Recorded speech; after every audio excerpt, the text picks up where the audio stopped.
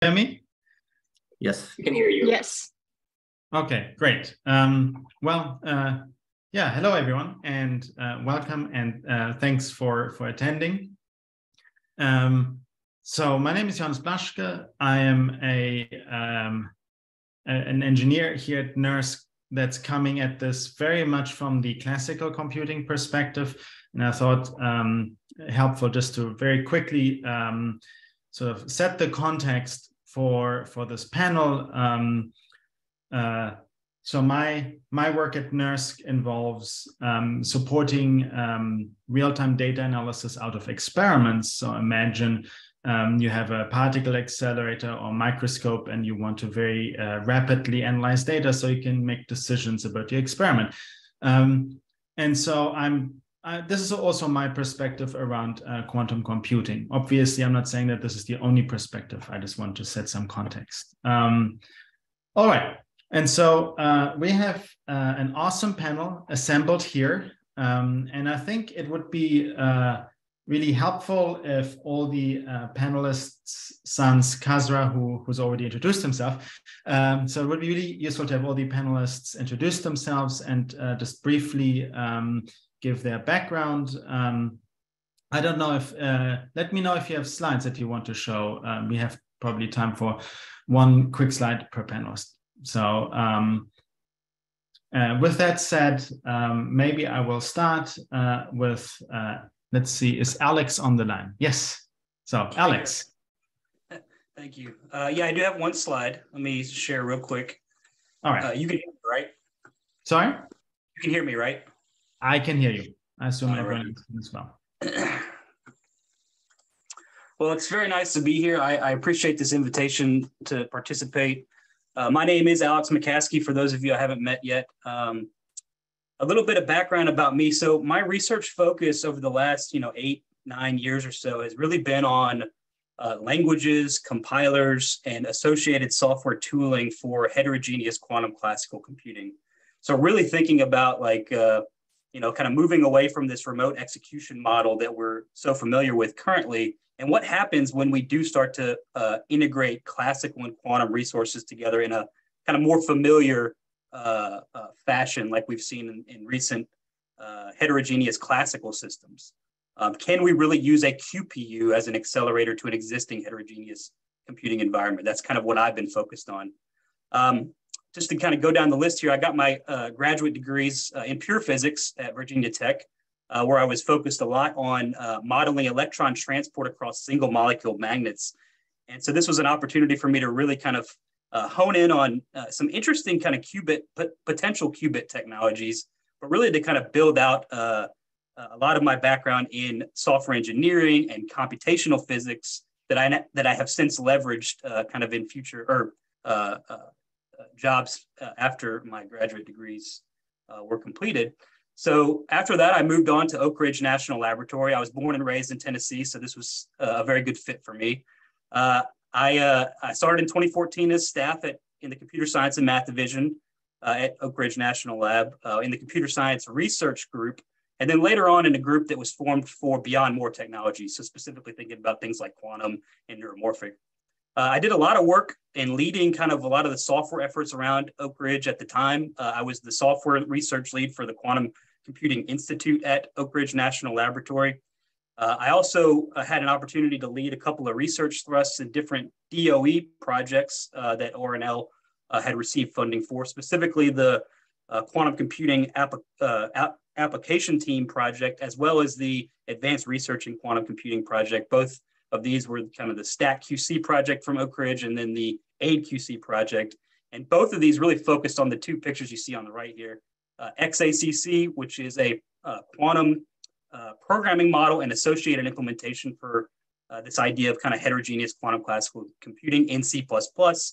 And then QCOR came kind of as a kind of building off of that foundation as a kind of first of its kind C++ compiler for quantum computing in kind of a single source programming context. So then after Oak Ridge, I actually have been at NVIDIA about a year, uh, coming up November 1st. It's been about a year. And I'm uh, the quantum computing software architect here at NVIDIA. And I'm the technical lead for this new uh, programming model called QODA, the Quantum Optimized Device Architecture. where we're really trying to learn a lot from the CUDA world and kind of apply that in the uh, kind of uh, quantum computing world. So, so I'll go ahead and stop. That's kind of my brief background. And, and like I said, happy to be here. Thank you, Alex. Um, next up, we have Nate. Okay, let me see if I can share a slide. Trying to see where the stop sharing button is here. Oh, here I think go. Alex has to unshare. Oh, there we go. Got okay. it. Okay, I couldn't find it for a second there. All right. Okay, let me know if you can see this and if you can hear me. I can see and hear Okay, great. okay, so hi everybody, I'm Nate Gemelke. I am the CTO at QuEra Computing. So I actually put a slide together to introduce QuEra Computing. Uh, but I will say a few things about myself. I'm an atomic physicist, physicist by training. Uh, so I've, I've been doing that for about 25 years since I met uh, Steve Chu, who uh, uh, helped uh, invent laser cooling. That's one of the core technologies that we use to build quantum computers here at QuEra Computing. So we actually do a, a range of different things. the company started in about 2019. We're up to about 40 people now.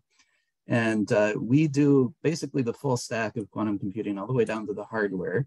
And the hardware that we build is based off of neutral atom technology. So you can see an example of that down the, the bottom left uh, uh, corner of this slide, uh, where you can see a grid of uh, little purple dots. Each one of those dots is actually a single atom that's been laser cooled uh, and held in an optical tweezer and then moved uh, on a two-dimensional plane to form a kind of quantum register. And so this is kind of, you know, a, a very nice scalable platform uh, for building quantum technologies out, and, and in particular for doing uh, uh, scientific applications today uh, in the realm of quantum simulation. So we can build machines right now uh, that have hundreds of qubits, and we're putting them on the cloud as we speak.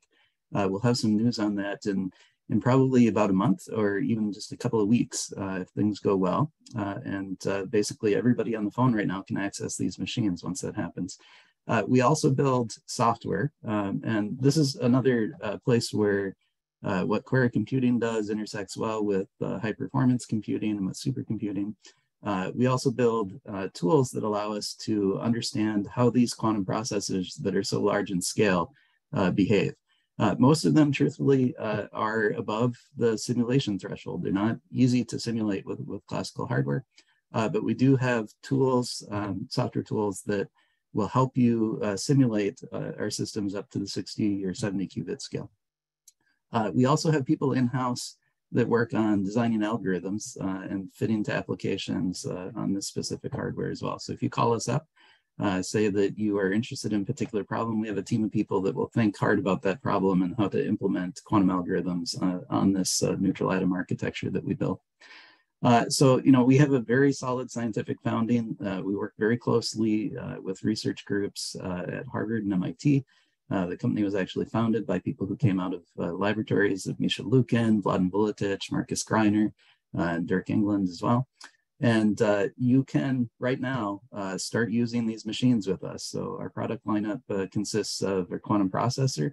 we're launching our, our, first device, which is called Aquila, over the next couple of months and then also uh, the software tools that help with that. So uh, you can look online and find all of those kinds of things. Uh, but I think I will uh, not take too much of the panel's time up with uh, more introduction for myself or my company and, and, hand it off to the next. Thank you, Nate. Um, next up, we have Anna. Hello, let me share my slide really quickly. Okay, so all right. So, hello, my name is Anastasia uh, Butko. I go for Anna. Uh, so, I am a career scientist at the Computer Architecture Group um, at AMCR at LBNL. Um, so, I um, just will quickly tell you about my background. I don't don't have any background uh, in quantum computing. I got my uh, digital design and electronics degree uh, at uh, National Technical University at Kiev. Uh, and then I got a microelectronics master in Montpellier, France. And then I, I had my PhD in um, HPC architecture simulation in France as well. So as you can see, I don't, not necessarily a um, uh, quantum uh, scientist, but uh, when I uh, joined the lab, I was uh, I expressed my interest and and been lucky enough to be invited to participate in um, quantum projects. So uh, briefly, my uh, uh, research interests are um, so I'm I'm working on designing the uh, control hardware for quantum, and um, among other efforts, my current project include the uh, advanced quantum testbed uh, where I'm developing quantum ISA as kind of an efficient um, software and hardware interface. So if you ever heard about Quasar, uh, so I am uh, uh, who is working on that. Um, so I'm also uh, interested in uh, in the computer architecture group um, uh, that is now led by John Shalf. Um, he, so as, as, you well know, he he's working a lot in the beyond Moore's uh, technologies and architecture. So superconducting electronics is one of the um, of, of the potentially promising technology. So I've been involved in this. Uh, so we have a Super Tools IARPA program. And uh, within this program, we're also uh, exploring uh, if we can, you know, do cryogenic control for quantum, uh, a, quasar at 15 millikelvin or something like that. Um, and yeah, so I'm also interested in different architectures at the edge um, and uh, and we are using a lot of FPGAs uh, and new technologies related to the FPGAs to uh, building the prototypes and uh, um, exploring different architectures. So that's my broad background. so here we go. Thank you very much. Um, next up, we have uh, Ravi. Hey everyone, let me just share a slide real quick. Can you hear me well? I can hear you and I can see the slide. Great. Um, so um, thanks everyone for having me. I'm Ravi Naik. I am an experimental physicist uh, by background and practice. Um, I did my PhD at the University of Chicago uh, in 2018, and um, there my work focused on uh, multimode circuit quantum electrodynamics, so specifically um, using resonators as uh, as a quantum memories. Um, uh, here at, at Berkeley Lab, I am the head of measurement at the Advanced Quantum Testbed, which you heard about uh, from Kasra's talk. Um, and so I won't go too much into detail there, but just to highlight some of the research efforts that I've been involved in um, as part of uh, the AQT. Um, uh, generally three broad areas, uh, quantum control. So being able to enable the uh, sort of novel types of, of, of, control that are capable on superconducting quantum processors, uh, including work with uh, ternary quantum logic uh, and the um, uh, multi-qubit gates that uh, Kasra highlighted earlier. Um, furthermore, we've also been working on understanding how how noise affects uh, quantum processors, uh, one of the most important uh, issues, uh, in my opinion, uh, uh, with quantum processors. Um, and along these efforts, both being able to benchmark quantum processors and understand how these errors behave in the context of algorithms themselves. Um, and along those lines, we've been working on techniques to sort of optimize um, how these algorithms perform uh, given the capabilities of our processors and also um, the noise that affects them. Thank you. Thank you very much. Um, and uh, finally, um, we have Norm.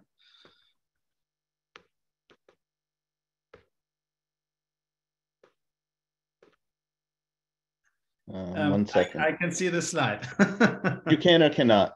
I can. I can. Okay. All right. Can you hear me? I okay. Can. Hi, I'm Norm Tubman. Uh, thanks for having me on the panel. It's great to be here. Um, I'm a research scientist at NASA Ames. I have two or three quick slides.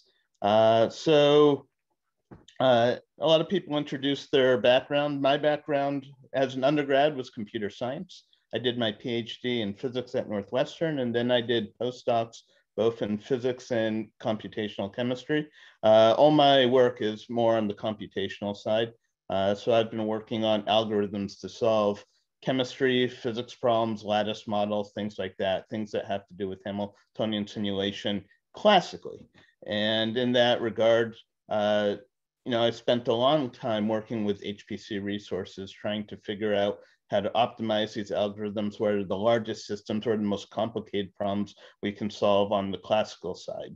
Uh, and in the, you know, so I have some examples on the slide of various molecules we've looked at over the years. We've done some having benchmark, heavy benchmarking of some simple molecules like benzene on the bottom left there. We've done some more complicated transition metal stuff like iron porphyrin uh, in the middle there, and even larger like metal organic frameworks and things like that. So there's a lot of material science problems in chemistry and you know physics lattice models that you know I've been interested in in my studies.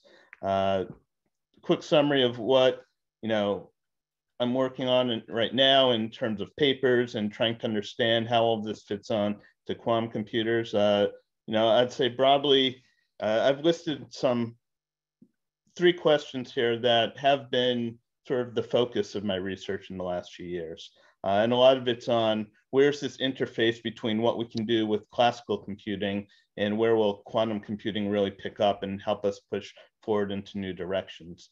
And I have a couple papers listed here that sort of represent various know, activities that I do in terms of my research, which is developing new classical algorithms. I'm an example of something we called ASCI, which is a configuration interaction type method that we developed in the last few years. Uh, we developed new quantum algorithms in my group. So I have an example here that I worked on with people at LBL uh, that uses various applied math techniques to try and accelerate uh, the way we can get convergence to ground states and other properties of chemical systems. Uh, I do a lot of benchmarking uh, with large groups of people who have their own classical or quantum algorithms, and we try and compare the efficiency of algorithms and try and understand what the state of the art is. And I also develop a lot of open source software with various collaborators on the side, which I have here on the bottom left, an example of a quantum Monte Carlo code we wrote called QMCPACK uh, a couple of years ago. Uh, so that's a quick summary of me and the different research techniques that, that I'm involved with. Thank you. Um, all right, so um, thanks uh, for, to the panel for introducing themselves. Um, I, I, said in the chat that um, I encourage the audience to um, ask questions in the um, in the chat. as we now transition to the discussion part, I also uh, would like to encourage the audience to uh, raise their hand if they want to ask a question, and we can, uh, you know, shepherd this, um, uh, shepherd the questions. Um, however, maybe I will start uh, by asking sort of somewhat of a broad uh, question that's relevant to NERSC, um, to the whole panel. Um, and so, in the future, uh, what role do you see uh, HPC playing um, uh, around designing, building, and operating quantum computers, uh, using quantum computers to solve hard or useful problems? Um, and how do you see this changing when we transition from NISQ to the fault tolerant regime? And so what I'm going to do is maybe I'll just uh, call on uh, one of you, and but I encourage the whole panel to to join in uh, the discussion. I might call on other people as well. So maybe I will actually uh, just start and ask Anna if if uh, you have any thoughts on these points. Uh, so I will start from the end. So you you said what's gonna change? Um, mm. You know, when we transition from NISQ to uh, something different. So I think that the the kind of um, the, the main difference uh, is going to be that the way it's working right now and the way it's probably going to work in the NISQ, uh, most of the NISQ uh, air computers, is it's very experimentalist kind of oriented. So it's different from the way that uh, people are using uh, NERSC resources, I, as I understand. Um, so uh, being like an experimental uh, computing means that that uh, you need to have a lot of support from the experimentalists, from the physicists. So you cannot do this alone. Uh, you need to have you need to have help. Um, then uh, yeah, so there's no kind of clear uh, protocols. There is no clear standards. Most of the um, most of the uh, problems that are demonstrated right now, uh, they are um, oriented at like uh, proof of concept and not in actually solving the problem.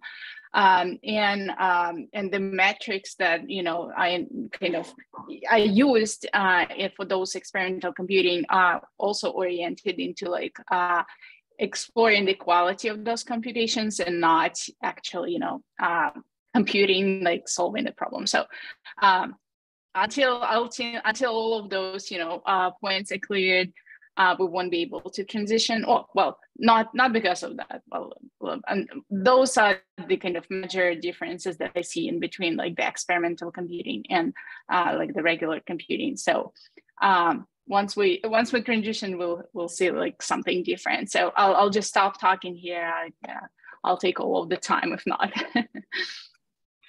uh, does anyone else want to uh, uh, volunteer to give an answer before calling someone?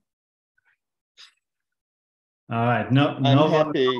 Yeah. I'm happy to say something. Uh, I mean, you gave a multi-part question. I'll try and say a couple things about the first part.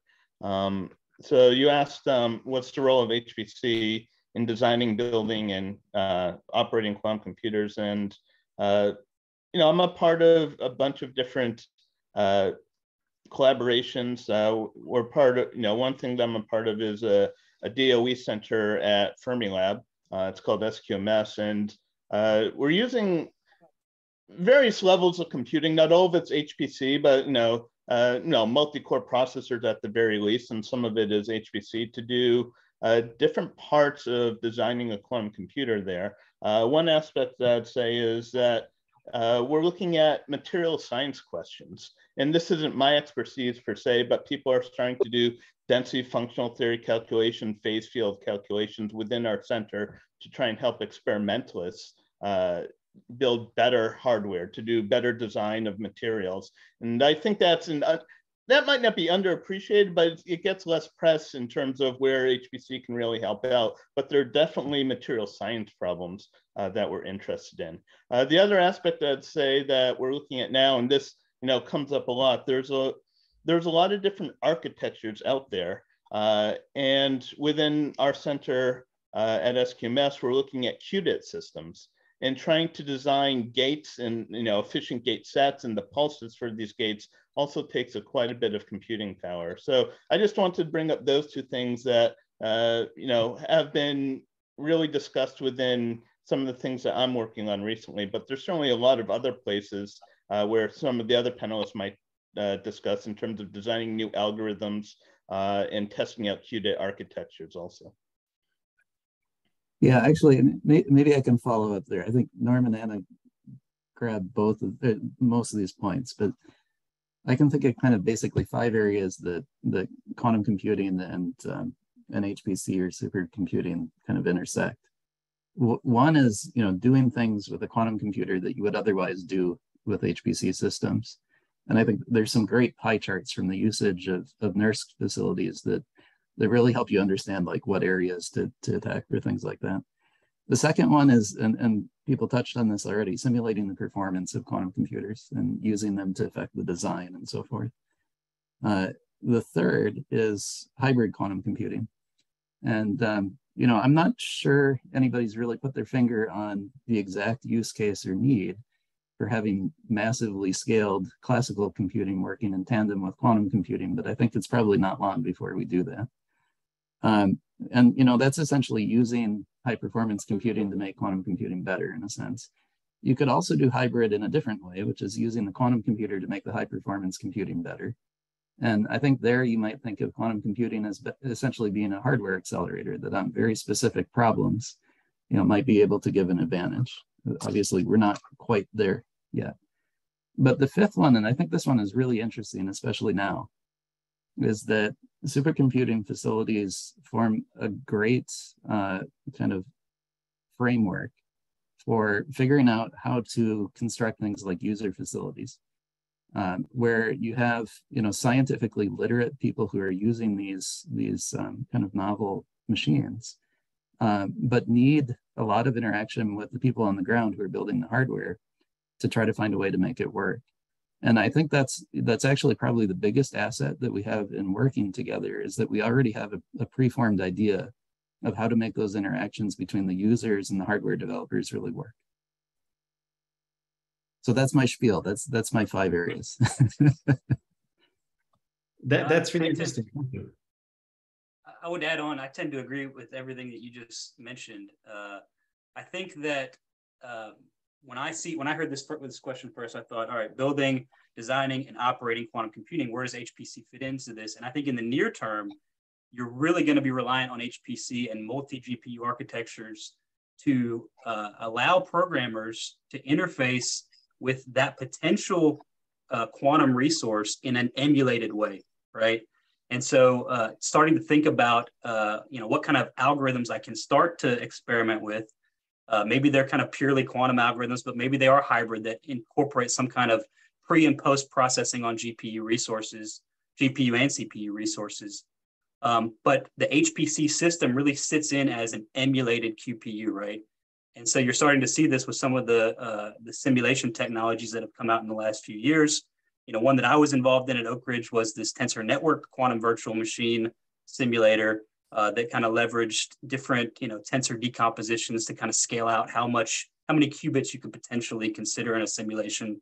But now, of course, with NVIDIA, we have, you know, great backends for existing simulators with cuQuantum and cuTensorNet and cuStateVec. And so I really think that in the next five years, five to 10 years potentially, that the HPC resource, the classical HPC resource, will be this perfect kind of, you know, uh, testing ground for us early on in algorithm development, but also in programming model development. How do I interface users with that combined resource? Uh, how do I interface with them and provide them an efficient programming model? Thank you. Um, uh, maybe uh, Ravi um, or Kasra, um, would you like to give maybe uh, uh, your your um, uh, more experimental oriented uh, perception? Uh? Yeah, I'd be happy to. Um, so along the lines of, uh, I'll give this perspective specifically for superconducting qubit platforms. Um, from our perspective, um, what makes, I guess, our qubits different than sort of many of the, the atomic type of qubits um, is that uh, all of our qubits are uh, unique in the sense that uh, they're macroscopic uh, objects. Um, and due to this, they uh, can have variation um, due to uh, fabrication um, inaccuracy. Um, and really getting this design to performance um, chain secure I think, uh, requires really accurate simulations, especially if we start going to scale. Um, and we quickly find that when we design these things, if we try to lay out, you know, many qubits uh, on, a, on a single chip, it can uh, quickly get uh, very computationally um, expensive to um, simulate the uh, electromagnetics of that uh, system. Um, and you know we have proxies and we can do it quite well we can do it uh, we think we, we've shown with, with our performance um, below the 1% level um, and even down to the 0.1%. But if we want to get to the point where we're making fault tolerant uh, quantum computers, we really need to um, uh, push that even further um, and push that on scale even further. Um, and that can be a challenge. I um, will be able to do that with uh, HPC? I think we need to be smart with that. We need some combination of, of proxies uh, that can scale to larger systems uh, and also be able to throw a lot of compute at, to, at it.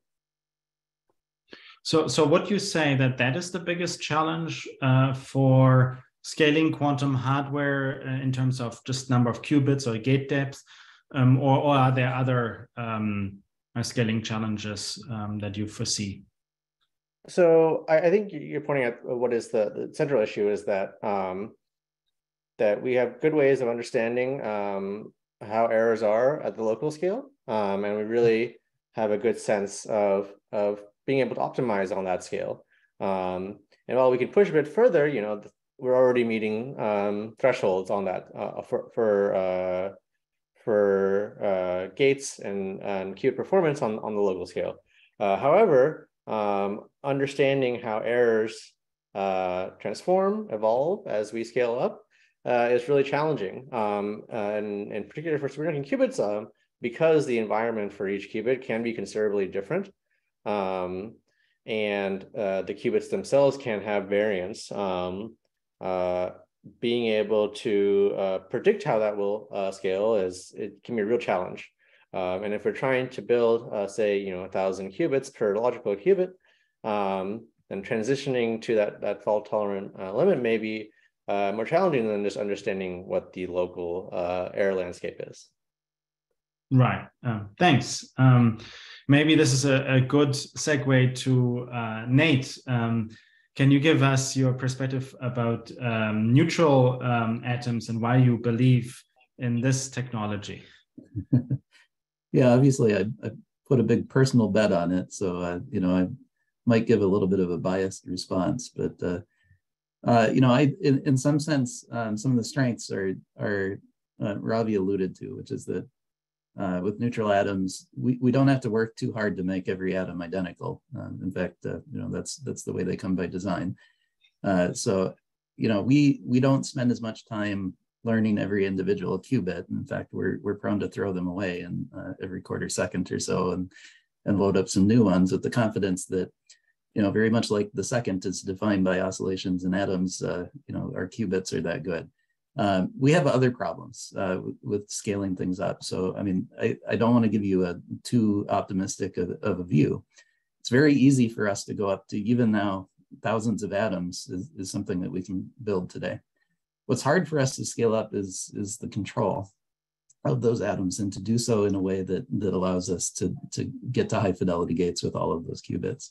Uh, so programmability is really a challenge for us. And, and so much so that the first devices that we're making now are not fully programmable devices. Uh, we're, we're using them for quantum simulation, things like that. And in fact, we don't have a single control channel per, per atom in our machine right now, uh, but we're working hard to do that. So, you know, we, we have a, an uphill battle in that sense of um, now that we have been able to find a way to get to very large scale, uh, now, now, we have a different kind of engineering challenge, which is how, how, do you control all those qubits? So we have to look into new uh, hardware to do that. Um, we have people on our team who are using integrated photonics, um, which is itself kind of an edge technology uh, to try to build uh, laser beams that can control atoms uh, precisely enough to do high fidelity gates and do that at scale. Um, you know, we've the technology is still moving very fast. We had a big discovery uh, within the last year of how to move atoms around in real time and preserve their quantum coherence. Uh, that's that's huge because it does it means that we no longer need a single laser control beam uh, for every atom in the device, but we can move them to the control beams. Um, so you're starting to see some of the kinds of things that that um, were essential for making classical computing move forward, uh, which is you know essentially how do you multiplex control uh, in a quantum computer. And um, now that we're starting to solve some of those challenges, I think we're, we're overcoming the primary hurdle of scaling up control in, in, in the atomic systems. So, I mean, the simple answer is it's easy to go to scale um, so big that, you know, we got to build the machine to see what it's going to do. I think that's exciting. It means that that every machine that we put out, um, you know, it's it's unique on Earth. Uh, even supercomputing facilities can't tell you what they're going to do um, that's exciting. Uh, but the next step is is to try to get the control in so that we can actually fully program the devices. Right. Thank you. Um, and actually, this is um, th there's a question um, directed uh, to Alex in the chat, um, and I think it, it can actually be generalized to to other people. So please chime in if you have any uh, thoughts. Um, so the the question uh, sings the praises of cuQuantum um, and then asks, so then Kareem asks um, uh, if you can open source examples um, and, and also mentions that uh, resources like the manual um, are scarce with, um, with these examples. Um, so maybe also more broadly speaking, I think a lot of us in HPC have this uh, worry that, you know, it's very hard to find resources about learning quantum uh, computing um, so maybe Alex, you can uh, answer the question, and then if other people want to chime in with their uh, perspectives. Yeah, no, definitely. Um, so you know, I'm I'm not on the cuQuantum engineering team per se. I'm more on the QODA uh, programming model side, but Uh, I do work with those folks all the time. And I do know that there are public examples. Uh, they're under uh, GitHub, under the NVIDIA organization. Uh, so you can go check those out. The, the figures that were, the benchmark figures that were shown this GTC, I believe are currently uh, in, you know, somebody else, probably, you know, one of the product people could correct me, but they're, they're still internal. Um, but I'm sure that they'll probably be, you know, open sourced at some point in the future. Um, and I'm sure that there will be a, you know, Python example for that as well. No, I think that the kind of you know, overall documentation and textbook question for interfacing classical HPC domain computational scientists with quantum is a really good question. And I think that you're starting to see it with, you know, a few efforts here and there. Um, I think that one resource I like to point people to is the, the Qiskit textbook is a really nice uh, resource for kind of learning a lot of the early uh, kind of textbook uh, algorithms and algorithm implementations out there. And then kind of taking that and porting it to other frameworks is relatively straightforward. Um, but I think that it gets at more of a, a, more general question about kind of workforce development um, and, you know, kind of developing programming models that are at a high enough level that kind of get us away from the kind of core quantum circuit construction kind of methodology and kind of bring it more toward the you know typical types that we're interested in like integers and floats and can i do algorithms on integers and floats in the quantum uh, register instead of the classical register uh, but then also kind of thinking about presenting these hybrid algorithms uh, hybrid quantum classical algorithms in more of a uh, application centric way and abstracting away the details of the underlying quantum, you know, ISA essentially, right? Like the, the gate set. You know, those are things that we're currently working on at NVIDIA, and I know a lot of people are working on, uh, uh you know, kind of across the field. But that I think will be necessary to really kind of bring the existing HPC domain computational science research uh, community uh, on board with leveraging quantum co-processing in these existing heterogeneous workflows. Yeah, thank you. Um, any, anyone else have uh, perspectives on this? If not, I'm going to actually ask Norma a question. Um, are uh, variational algorithms ever going to uh, work at scale? And, and with that, we mean show quantum advantage. Um, and, and also, are there alternatives to um, hybrid algorithms? Sorry, are there alternative hybrid algorithms that are promising? Hi. Um, okay. Uh, this is, I feel like this is a tricky question, um, and there's going to be a lot of opinions on this. And I know QuEra has some papers on this also, uh, where they've tried to do some variational stuff at pretty large system sizes. So no, no pressure, Norm. You, you're just going to have to predict the future for everybody. Yeah. yeah. Um, what I'd say is I think there's a lot of different promising routes uh, in which variational algorithms might be uh, useful. Uh, right now, I'd say, other than, well, let's just say if we were to focus strictly on, say, quantum chemistry applications, trying to uh, see where things are right now on qu uh, quantum hardware, I don't think I've seen uh, almost anything on superconducting hardware, at least, that's more than like 10 to 16 qubits. And if if that's indication, it might be quite hard to scale up to larger system sizes. Uh, but that being said, uh, we do have a lot of tools in which we can optimize in the presence of noise. Uh, there's no inherent reason we can't scale larger. Um, and I do think it's a fundamental algorithm that is needed now and might also be needed in the future, even when we do have fault tolerant hardware. We're going to need to do state preparation quite broadly. There are lots of different algorithms to do it. Variational algorithms still might be prominent even uh, as we go forward with quantum hardware uh, advancing. Uh, but I also think there's, you know, part of the question was, are there a lot of different strategies that in which you maybe change up the algorithm or change things a little bit to make uh, these sorts of algorithms more useful. And I think there's a lot to be said by pre-training, uh, where you start making use of clever classical algorithms to get circuits that are somewhat optimized they get you off barren plateaus and these other sorts of things that have been talked about in the literature. And then you use quantum computers as a refinement step There's also been discussions of using uh, no, uh, decent wave function or decent state preparation as input into other sorts of algorithms out there, such as Monte Carlo techniques and things like that. So I am optimistic that we will be able to see some quantum advantage uh, with variational algorithms. Uh, and I'd say the main X factor isn't necessarily whether it will be useful or not, it's whether there are other algorithms that overtake it in some sense when we go to the fault tolerant error. Uh, whether or not, you know, and this is part of my research to some extent, I develop new algorithms all the time. Other people are developing new algorithms all the time. Uh, there, it's not a static field.